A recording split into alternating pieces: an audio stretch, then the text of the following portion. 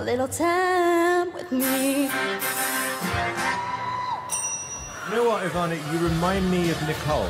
I think this is exactly what I would have seen with Nicole if she'd have been 20 auditioning for this show for the first time. I do. That's Yeah, funny because that. you can look it up online. I was in a show called Pop Stars and I actually sang Whitney Houston, I Will Always Love You. Hello!